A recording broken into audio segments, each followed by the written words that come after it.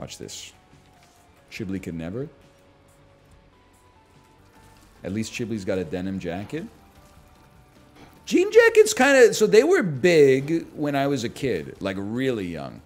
Um, and then they were not in vogue for a while, but then they became in vogue again for like a year and a half. Are they already gone? Fashion is cyclic. Yeah, but like the ramen noodle haircut for men has been around for like five, six years now. No one does ramen hair anymore. You need to. Um, I don't know where you live, but it sounds like you live in Ohio. This is a great big world out there. There's a lot of ramen, broccoli haircuts out there. What's interesting is it's so it's very popular with uh, young men. If you see a young man by himself, he will not have the ramen hair. But if you see a group of young men, I would say between the ages of 13 and 21, they will all have the broccoli hair, which indicates to me, and this is the insidious part, it's a self-propagating haircut. Like it's it's a mimetic haircut that gets uh, transferred from like a host to to another host. I thought we were talking about JT ramen. Well, Justin Timberlake, it's a different kind. It's ramen for sure, but it's more in the same vein as almost I would call it like a a mid-length Chad Kroeger type ramen haircut.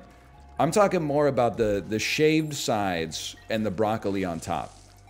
That's frosted tips. No, no, you got it confused. Justin Timberlake, he, you can't have frosted tips when you have curly hair.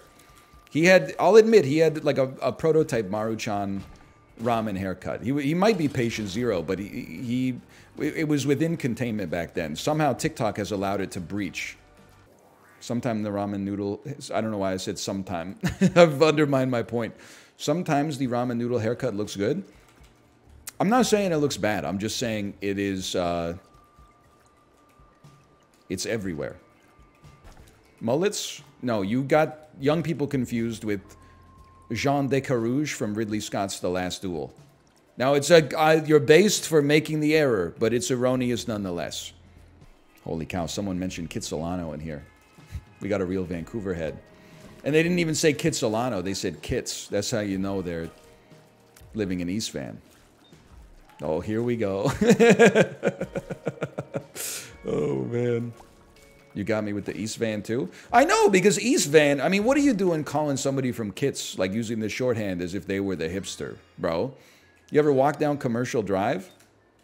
Shit is mullet central. And not just the men, but the women and children too. As Hayden Christensen, noted Vancouver native, would say. You ever seen him? No. I don't think the only famous person I've ever seen in Vancouver is Dan Bejar. Dan Bejar, Dan Behar. And even then, I didn't know 100% that it was him until he had already passed me by.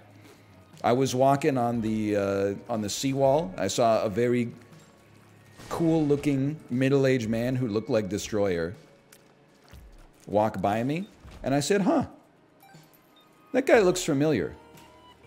And then, like, I did the the meme where um, you know, the one where the distracted boyfriend, is that it? Where he's walking away and he looks back? I saw Cole Sprouse in a Mount Pleasant sandwich shop in 2019. Okay, but here's the important question. What's the, uh, what sandwich shop? It's called Cafe Tika. It's not a chain. All right, I don't know it. You got me there. You Vancouver hipstered me. I didn't think it would be a chain, by the way. I just thought possibly I would heard I would have heard of it. You know, I've, I've spent some time in Mount Pleasant. Cole Sprouse fought my dad. Hey, this is a good time for me to admit, I don't know who Cole Sprouse is. Is he on one of those like CW shows? I've heard his name before. He's like a, a young adult actor, right? He's from The Suite Life of Zack and Cody. He's Dylan Sprouse's brother. I don't know who Dylan Sprouse is either, bro. I don't know shit about the Sprouse clan. He's also on Riverdale. Oh, like Charles Melton? Exactly like Charles Melton. Okay. you know him from Big Daddy? He's the kid from Big Daddy? And he's on Riverdale? Wouldn't he's like my age then? Who the hell did he play? Principal Weatherbee? I can't believe I remember Archie's principal's name, man. Thank you, brain. That was like the perfect way to finish that one off. One time, Justin Chatwin tossed a firecracker at my brother when we were kids in Nanaimo. Finally, we're dealing with an A-lister. Justin Chatwin, of course, most famous for Dragon Ball Evolution, where he played Goku, by the way. He wasn't a bit part in that movie. That's a deep pull. It's literally all I know him from, to be honest with you. I once ran into Greg Proops. I don't really think I've met anybody famous. There was like, uh, well, I went to school with Michael A. L. Fox, but uh, at Champions of Fire 1, there was a, a meet and greet arranged for us. And Amazon staff that are watching this, I don't blame you, okay? It was a zero interest rate environment. You know, but it, it just didn't seem like a fit to me that after the event, we went to like a, um, the, the club in Caesar's Palace, and there was a meet and greet with Chuck the Iceman Liddell. Like, I had just gotten through two days of playing Amazon Kindle Fire games for money. but like we showed up too late to meet Chuck the Iceman Liddell, which honestly seemed fine because I don't watch the UFC. So I really would have just been like taking a picture just to be like, hey, this is a guy someone told me is famous. Like it's better for him to have his time for himself than wasted with me, who's it's not like I'm not a fan because I don't like him. I just don't know who he is. And that's like, I don't know. I guess at Champions of Fire 2, I didn't realize that DJ Rehab is actually like a pretty famous DJ. So I met him and spent some time on the couch with him and shook his hand and stuff like that. But it was only like years later that I discovered that he's actually like famous.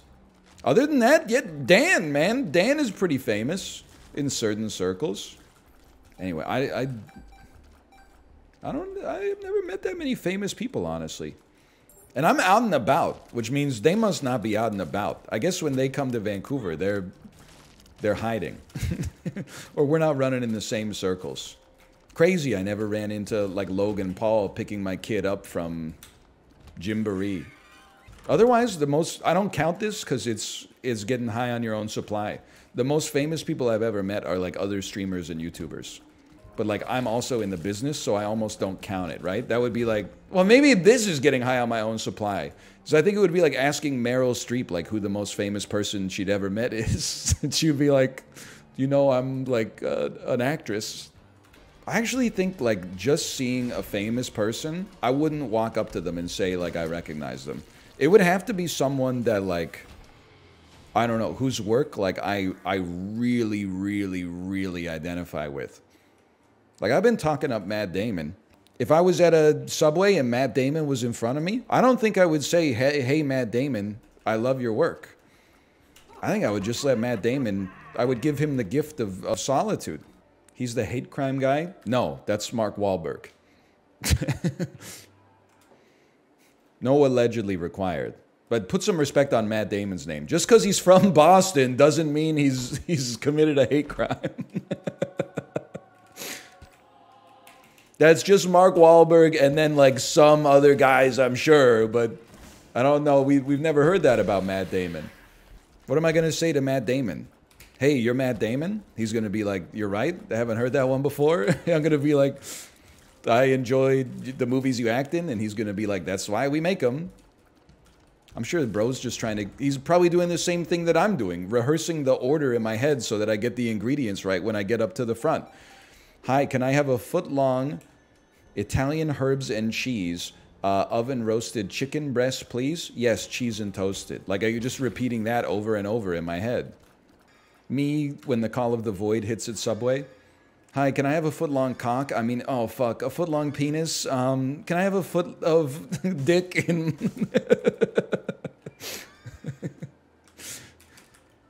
um, um, um, I mean, can I have a cheese and toasted penis? Uh, can I get toasted peanut butter and jelly? Uh, although I will say, I have a, a friend who used, and this we're going several layers deep here. I have a friend who lived in an apartment building where one of his neighbors rented, like their side hustle, their side hustle was they rented their apartment to actors and actresses who were in Vancouver for like long shoots.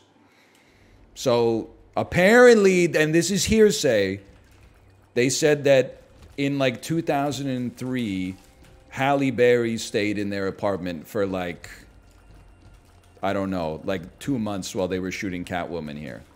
So apparently it does happen, but yeah, they signed her basketball.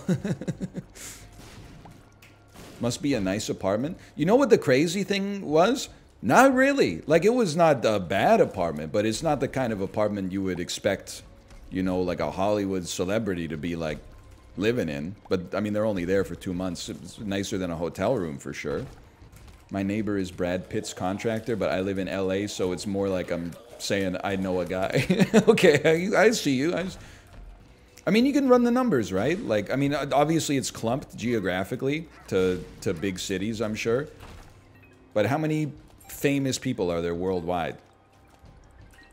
Like, from a, from a Western context, because obviously, like, I could have passed by celebrities like every day in South Korea and I wouldn't have known.